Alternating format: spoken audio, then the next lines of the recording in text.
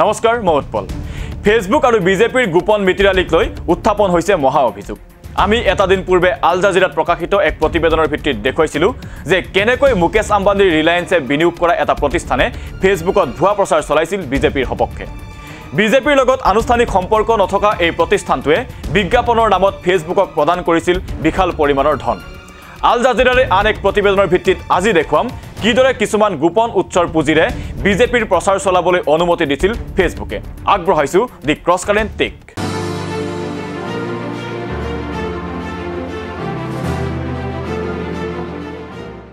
দুহেজাৰ ঊনৈছ চনৰ লোকসভা নিৰ্বাচনৰ প্ৰাক মুহূৰ্তত ফেচবুকে ঘোষণা কৰে যে পৰিচয় গোপনে ৰাখি কংগ্ৰেছৰ হৈ প্ৰচাৰ চলোৱা আঠশ সাতষষ্ঠিটা পেজ বন্ধ কৰি দিছে ফেচবুকে।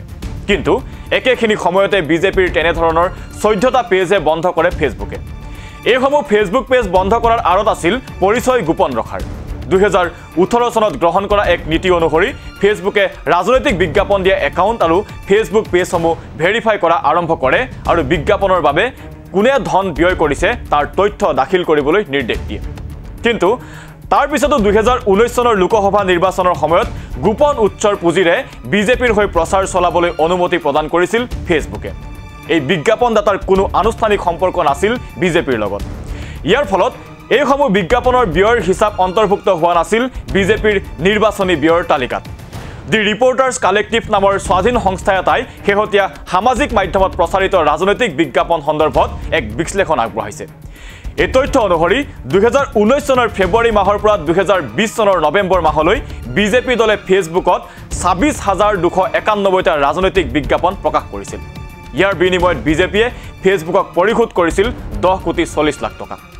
এইসমূহ বিজ্ঞাপনে লাভ কৰিছিল তেৰ হাজাৰ ছশ লাখ ভিউজ ইয়াৰ উপৰিও একেখিনি সময়ত বিজেপিৰ হৈ প্ৰচাৰ চলাইছিল বিজেপিৰ সৈতে আনুষ্ঠানিকভাৱে সম্পৰ্ক নথকা আন তেইছগৰাকী বিজ্ঞাপনদাতাই।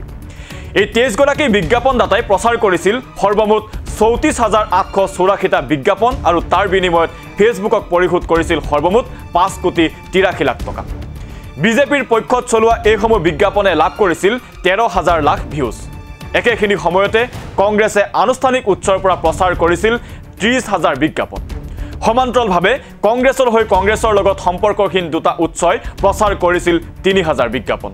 এতিয়া আহিছোঁ বিজেপিৰ হৈ প্ৰচাৰ চলোৱা অথচ বিজেপিৰ সৈতে আনুষ্ঠানিকভাৱে সম্পৰ্ক নথকা তেইছগৰাকী বিজ্ঞাপনদাতাৰ প্ৰসংগলৈ। বিজেপিৰ হৈ ফেচবুকত প্ৰচাৰ চলোৱা এই তেইছটা পেজৰ ভিতৰত ছটা পেজে দলটোৰ লগত থকা সম্পৰ্কৰ তথ্য ৰাজহুৱা কৰা নাছিল। এইসমূহ পেজৰ নাম আছিল ক্ৰমে my first vote for Modi nation with NaMo nation with NaMo dot com আৰু ভাৰত কে মন কি বাত। যদিও এইসমূহ পেজে বিজেপিৰ লগত থকা সম্পৰ্কৰ কথা ৰাজহুৱা কৰা নাছিল তথাপি তেওঁলোকৰ ঠিকনা ৰাষ্ট্ৰীয় বিজেপিৰ মুখ্য কাৰ্যালয় বুলি উল্লেখ কৰা হৈছিল। এইকেইটা ফেচবুক পেজে উল্লেখিত সময়ত বিজেপিৰ পক্ষত বাৰ হাজাৰ তিনিশ আঠাইছটা বিজ্ঞাপন প্ৰচাৰ কৰিছিল আৰু তাৰ বিনিময়ত ব্যয় কৰিছিল তিনি কোটি দুশ চৌবিছ লাখ টকা। সমান্তৰালভাৱে ব্লু ক্ৰাফ্ট ডিজিটেলে তেৰ লাখ টকা আৰু শ্ৰীনিভাসন শ্ৰীকুত্ৰনে প্ৰায় তেৰ লাখ টকা ফেচবুকক পৰিশোধ কৰিছিল বিজেপিৰ পক্ষত বিজ্ঞাপন প্ৰচাৰৰ নামত। একে সময়তে ডি প্লাছ নামৰ এটা পৰ্টেলে বিজেপিৰ পক্ষত বিজ্ঞাপন প্ৰচাৰৰ বাবদ ফেচবুকক পৰিশোধ কৰিছিল ন লাখ পঞ্চাছ হাজাৰ টকা। এনেদৰে দুহেজাৰ ঊনৈছ চনৰ ফেব্ৰুৱাৰী মাহৰ পৰা দুহেজাৰ বিছ চনৰ নৱেম্বৰ মাহলৈ তেইছগৰাকী বিজ্ঞাপনদাতা তথা ফেচবুক পেজৰ পৰা প্ৰচাৰ কৰা হৈছিল সৰ্বমুঠ চৌত্ৰিছ হাজাৰ আঠশ চৌৰাশীটা বিজ্ঞাপন আৰু তাৰ বিনিময়ত ফেচবুকক পৰিশোধ কৰা হৈছিল সৰ্বমুঠ পাঁচ কোটি তেইছ লাখ টকা। আমি আৰম্ভণিতে উল্লেখ কৰিছোঁ যে দুহেজাৰ ঊনৈছ চনত ফেচবুকে পৰিচয় গোপন অথবা কোনো দলৰ সৈতে থকা সম্পৰ্কৰ তথ্য গোপন কৰা পেজৰ ওপৰত ব্যৱস্থা গ্ৰহণ কৰিছে কিন্তু এইসমূহ ফেচবুক পেজে বিজেপিৰ সৈতে থকা সম্পৰ্ক ৰাজহুৱা নকৰাকৈয়ে বিজেপিৰ হৈ চলাই গৈছিল প্ৰচাৰ।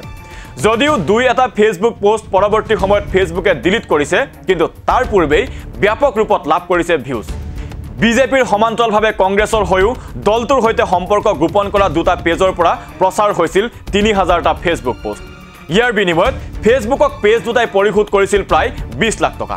এনেদৰেই ৰাজনৈতিক দলসমূহৰ হৈ দলৰ দ্বাৰা স্বীকৃতিহীন বিজ্ঞাপনদাতাই প্ৰচাৰ চলাই আহিছে ফেচবুকত। ৰাজনৈতিক দলসমূহৰ আনুষ্ঠানিক প্ৰচাৰৰ উপৰিও দলৰ লগত আনুষ্ঠানিক সম্পৰ্ক নথকা উৎসয়ো প্ৰচাৰৰ বাবে ব্যয় কৰিছিল ধন। অজ্ঞাত আৰু গোপন উৎসৰ ধন এনেদৰে ব্যাপক ৰূপত ব্যৱহাৰ হৈছিল বিজেপিৰ প্ৰচাৰত।